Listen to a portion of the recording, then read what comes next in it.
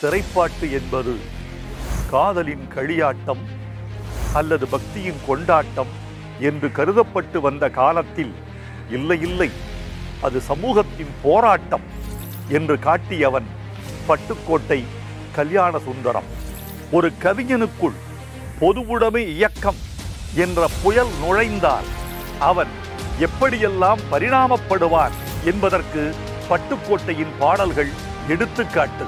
மனிதனாக வாழ்ந்திட வேண்டும். மனதில் வையடா வளர்ந்து வரும் உலகத்துக்கே நீ வலது கையடா தனிவுடைமை கொடுமைகள் தீர தொண்டு செய்யடா. தானா எல்லாம் மாறும் என்பது பழைய பொய்யடா என்று தன் லட்சியத்தை உறுதிப்பாட்டை கொள்கையை திரைப்பட பாடல்களில் வைத்து பாமர மக்களுக்கு பரிவாரியவன் பட்டுக்கோட்டை கல்யாண சுந்தரம் ஒரு திரைப்படத்தில் கூட ஒரு கவிஞன் சமரசமில்லாமல் வாழ்ந்து போக முடியும் என்று வாழ்ந்து காட்டிய கவிஞனுக்கு வணக்கம். எஸ்டி கொரியர் வழங்கும் கவிப்பேரரசு வைரமுத்துவன் தமிழ் ஆற்றுப்படை. இந்த வாரம் பட்டுக்கோட்டை கல்யாண சுந்தரம். இணைந்து வழங்குவோர் branch express touch my town dot com and science college Tiruvannamalai. Pattukkottai Kalyana Sundaram. இரண்டே ஆண்டுகள் பள்ளி படிப்பு இருபத்தொன்பது ஆண்டுகளே வாழ்வு. ஆறு ஆண்டுகளே கலை உலக ஆட்சி. ஐம்பத்தேழு மட்டுமே படங்கள். எல்லாம் தொகுத்து பார்த்தாலும் இருநூற்று அறுபத்து ரெண்டே பாடல்கள். ஒரு பாட்டுக்கு சராசரியாய் ஐநூறு ரூபாய் என்று கொண்டாலும் இந்திய ரூபாயில் சற்றொப்ப ஒரு லட்சத்து முப்பதாயிரம்தான் அவன் ஈட்டிய ஊதியம். ஆனால் திரைவெளியில் அவன் பிடித்த இடம் இன்னொருவரால் எட்டப்பட முடியாதது. பாட்டு பயணத்தில் அவன் பதித்த தடம் காலப்பொழுதியால் அழிக்கப்படாதது.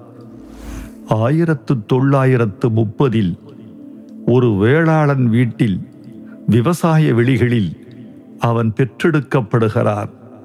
பட்டுக்கோட்டைக்கு பக்கத்தில் அரசாங்க ஆவணங்களில் கூட எழுத்து பிழையில்லாமல் எழுத முடியாத செங்கப்படுத்தாங்காடு அவன் பிறப்போர் ஆகிறது.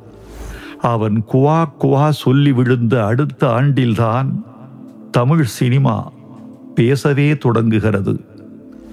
அவன் திரைப்பாட்டு எழுத வந்த இருபத்து நான்கு ஆண்டுகளுக்குள் புராணம் இதிகாசம் சரித்திரம் சுதந்திர போராட்டம் என்ற கலையின் கச்சா பொருள்களையெல்லாம் செலவழித்து தீர்த்துவிட்டு சமூக யதார்த்தம் என்ற தளத்தில் வந்து நிலை கொள்கிறது திரைப்பட தேர் ஆயிரத்து தொள்ளாயிரத்து ஐம்பத்து நான்கில் அந்த பாமர பாவலன் பாட்டெழுத வந்துவிட்டான் அதுவரைக்கும் கேட்காத துனியில் உழைக்கும் மக்களின் முரட்டு மொழியில் திடீரென்று வந்து மிரட்டுகிறது அவன் பாட்டு.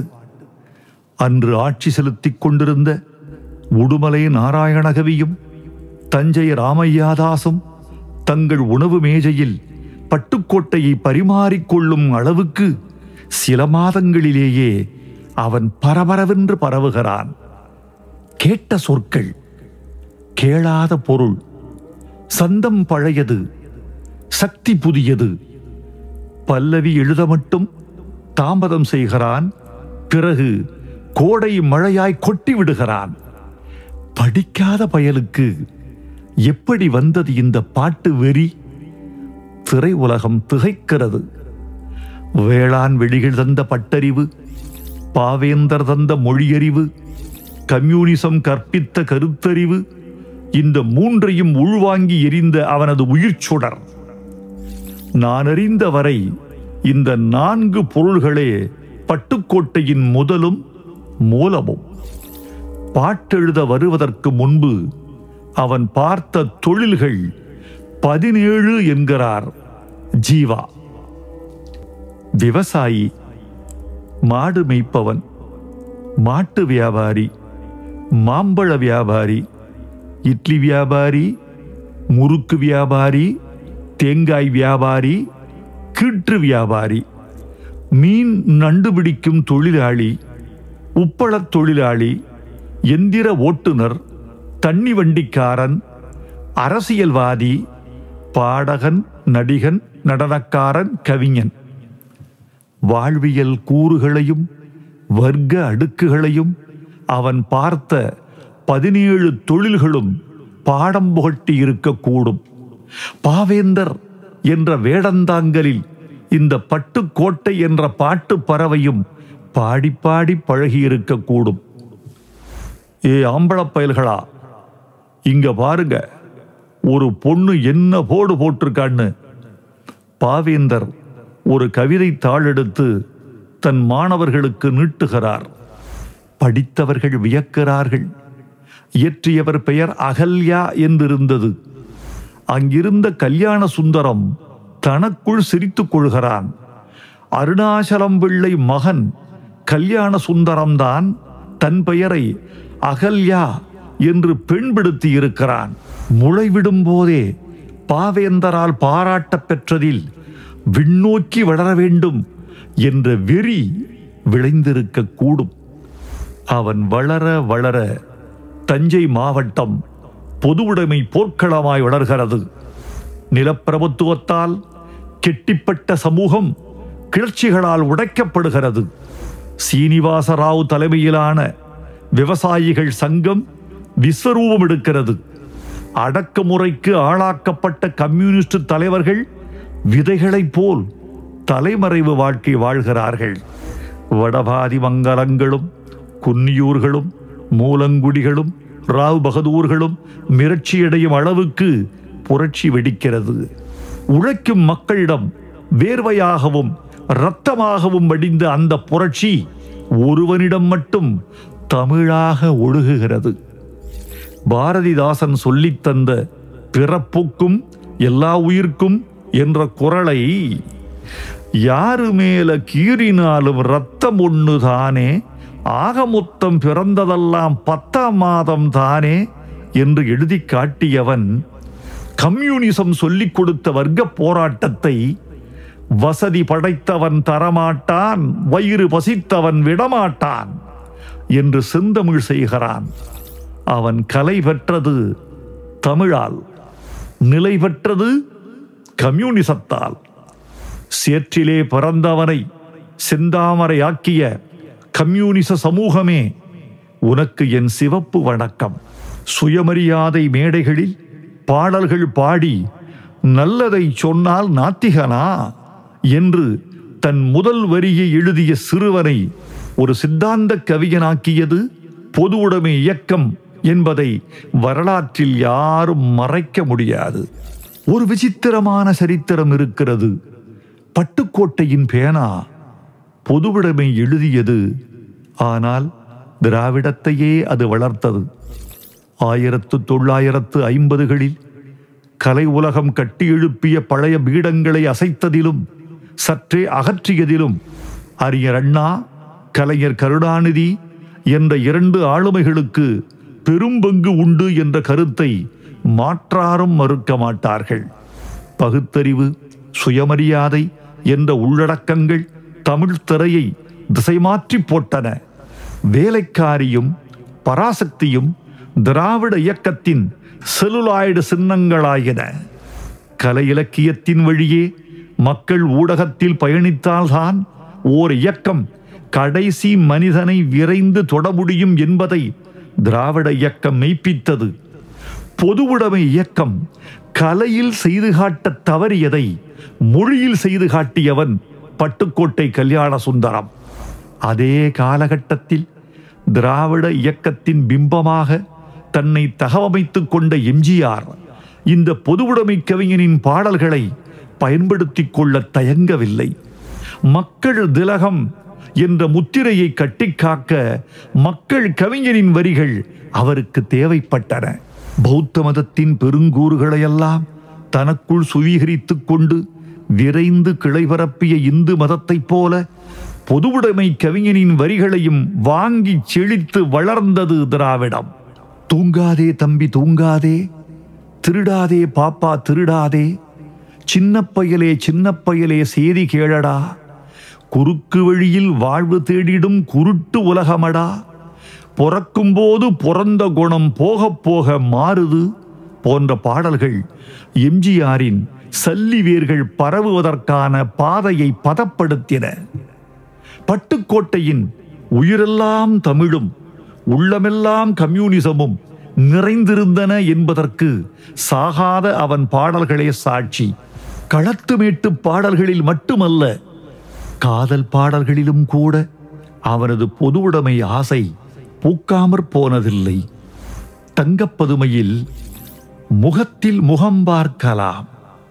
விரல் நகத்தில் பவளத்தின் நிறம் பார்க்கலாம் என்ற பாடலில் நுட்பத்திலும் நுட்பமான ஒரு கருப்பொருள் வைக்கிறான். ஆணுக்கும் பெண்ணுக்குமான சுகம் என்பது சுய சுகத்தோடு முடிந்து போவதல்ல. தாம்பத்தியம் என்பது பெண்ணுடல் கொண்டு தன்னுடல் நிரப்புவதல்ல. அதுபோல் ஆணுடல் கொண்டு பெண்ணுடல் நிரப்புவதும் அல்ல ஆண் தன்னை உருக்கி பெண்ணை நிரப்புவதும் பெண் ஓர் ஆணை நிரப்ப தன்னை பெருக்குவதும் தாம்பத்தியத்தின் இருபார் தத்துவம். கொடுத்து பெறுதல் அல்லது பெற்று கொடுத்தல் இழந்து கொண்டே அடைதல் அல்லது அடைந்து கொண்டே இழத்தல் என்பதே தாம்பத்தியத்தின் தத்துவம். எதிர் உயிரை பெருமை செய்வதுதான் இணை விளைச்சின் இன்பம். பட்டுக்கோட்டை எழுதுகிறான் இகத்தில் இருக்கும் சுகம் எத்தனை ஆனாலும் இருவர்க்கும் பொதுவாக்கலாம். அன்பே அதன் எண்ணிக்கை விரிவாக்கலாம். நான் கேட்டு கேட்டு கிறுகிறுத்து போன வரிகளுள் இதுவும் ஒன்று. தங்கத்தின் மூலக்கூறு விரித்தால் கடைசி வரைக்கும் தங்கம்தான். பட்டுக்கோட்டையின் பாட்டுக்கூறு பிரித்தால் அவன் காதல் வரைக்கும் கம்யூனிஸ்ட் தான் பட்டுக்கோட்டை பாட்டெழுதி கொண்டிருந்த அதே கால அலைவரிசையில் இந்திய திரைப்பாட்டு வடக்கிலும் தெற்கிலும் எந்த மொழியில் இயங்கியது என்பது கருதத்தக்கது. அறுபது ஆண்டுகள் பின்னோக்கி பார்த்தால் பட்டுக்கோட்டை கல்யாண சுந்தரத்தின் தனித்தன்மை புலப்படும். உடைந்து போன கனவுகள் சொல்கின்றன. என் கண்கள் கண்டெடுத்ததை இதயம் தொலைத்ததென்று. இது ஆயிரத்து தொள்ளாயிரத்து ஐம்பதில் கருப்பு வெள்ளை யுகத்தில் மதுமதியில் ஷைலேந்தர் இந்தியில் எழுதியது. எல்லாரும் சொல்கிறார்கள் உன் இதயம் கல்லென்று. நாடு சொல்கிறது உன் மனது காடென்று. காட்டில் தேடி பார்த்தபோது தெரிந்தது நீலக்குயிலின் கூடொன்று. இது ஆயிரத்து தொள்ளாயிரத்து ஐம்பத்து ரெண்டில் மலையாளத்தில் கவி பாஸ்கரன் நீலக்குயிலுக்கு எழுதியது. பிறமொழியின் சமகால சகாக்களெல்லாம் படைப்பு மொழி தொட்டு பாட்டெழுதினார்கள். நம் உள்ளூர் கவிஞனோ காவேரி ஓரத்திலே கால் ஒதுங்கும் ஈரத்திலே காலையில நான் நடப்பேன் கலப்பை கொண்டுகிட்டு கட்டழகி நீ வருவ விதைய கொண்டுகிட்டு என்று உழைப்பு மொழி தொட்டு பாட்டெழுதினான் அதனால்தான் பட்டுக்கோட்டை பாடல்கள் என்ற சுவரொட்டி பார்த்து தமிழர்கள் கீற்று கொட்டகையை மொய்த்திருக்கிறார்கள். அவன் பாடல்களில் பெரிய அலங்காரம் இல்லை மேகமந்தைகள் நட்சத்திரங்களை மேயும் கற்பனைகள் இல்லை. தமிழ் மரபுக்குரிய கட்டமைவு அமைந்தது. கருத்தமைதி இருந்தது. இருவெருங்கூறுகளில் பட்டுக்கோட்டை பெரிதும் கவனம் செலுத்தியதாய் கருதுகிறேன். ஒன்று முறியாத மோனை. இரண்டு காதுக்குள் இனிக்கும் கடை இயைபு. மனிதனாக வாழ்ந்திட வேணும் மனதில் வையடா. வளர்ந்து வரும் உலகத்துக்கே நீ வலது கையடா. தனிவுடைமை கொடுமைகள் தீர தொண்டு செய்யடா. தானாய் எல்லாம் மாறும் என்பது பழைய பொய்யடா. இதில் மனிதனாக என்பதற்கு தனி உடைமை என்று எதுகையுமிட்டு முறியாத மோனைகளையும் அமைத்த பாவலன் வையடா கையடா செய்யடா பொய்யடா என்று கடை இயைபுகளையும் கச்சிதப்படுத்தி இருப்பதுதான் கட்டமைதி. திரைப்பாட்டு எழுதுகிறவனுக்கு இது அவ்வளவு எளிதல்ல. ஒரு திரைப்பாடலாசிரியனுக்கு மூன்று எஜமானர்கள். இயக்குனர் இசையமைப்பாளர் தயாரிப்பாளர் என்ற மூன்று சக்திகளை திருப்திப்படுத்தி சில நேரங்களில் நான்காவது எஜமானராகிய நடிகரையும் தாண்டி வர வேண்டும்.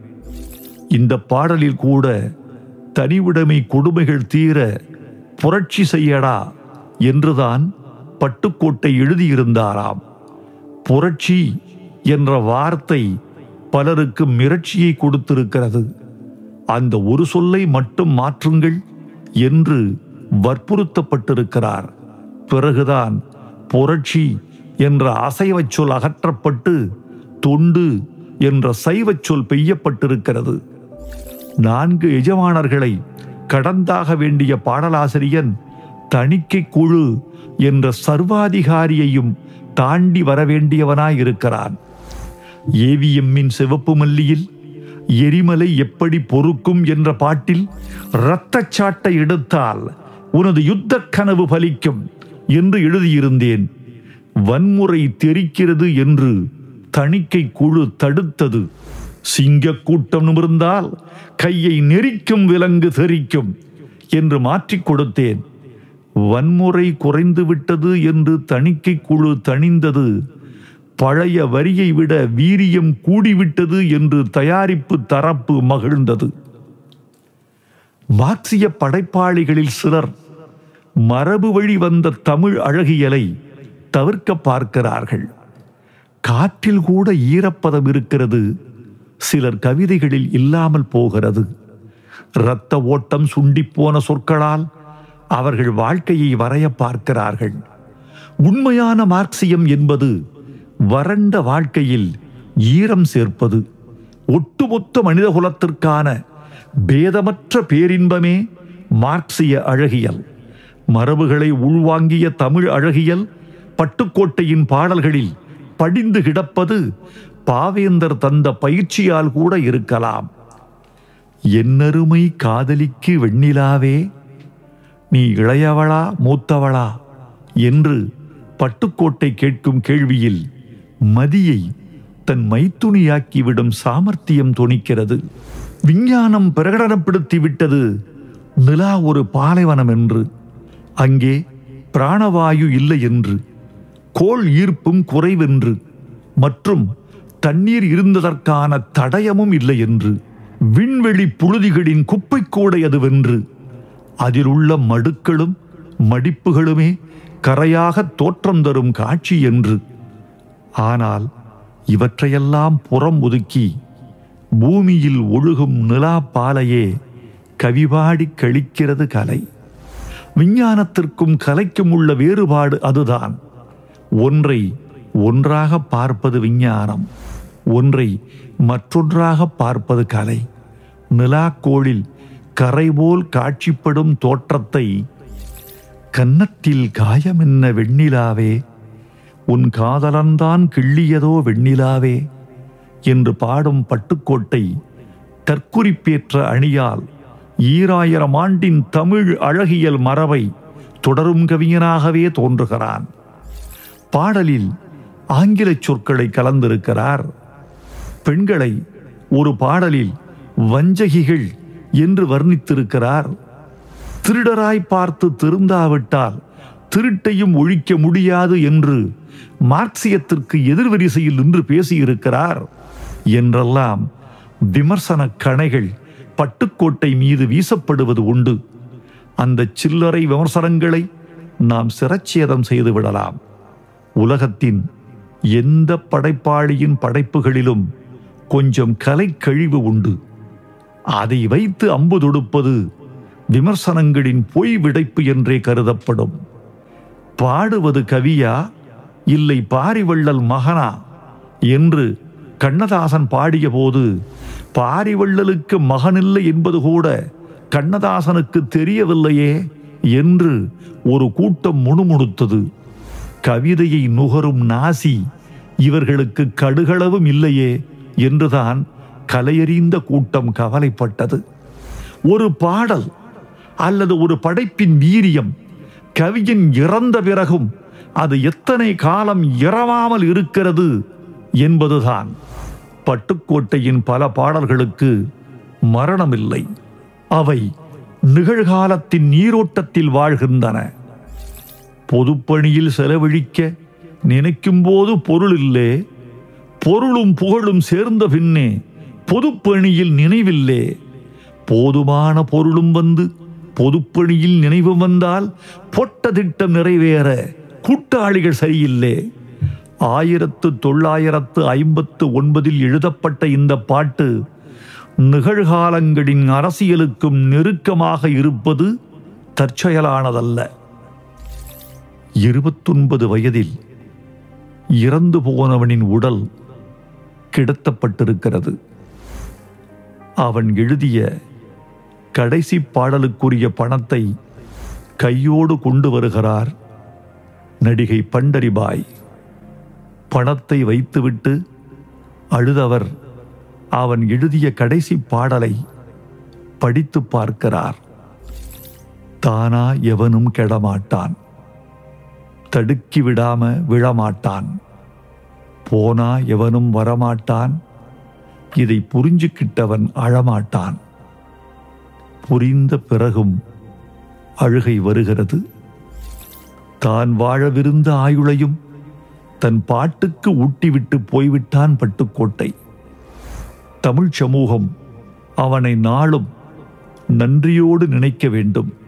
ஒவ்வொரு தமிழனும் தன் பாரம்பரியத்தின் பிரதியானால்தான் கலை இலக்கியத்தின் தொடர்ச்சியை காப்பாற்ற முடியும். இரண்டாயிரத்து முப்பதில் அவனது நூற்றாண்டு வருகிறது. அந்த விழாவை நாடு தழுவி எடுப்பேன் நான் இருந்தால். இல்லையேல் தமிழ் சமூகத்தை முன்னிலைப்படுத்தி என் பிள்ளைகள் எடுப்பார்கள். இந்த கட்டுரையை அதற்கான உயில் என்றும் எழுதுகிறேன்.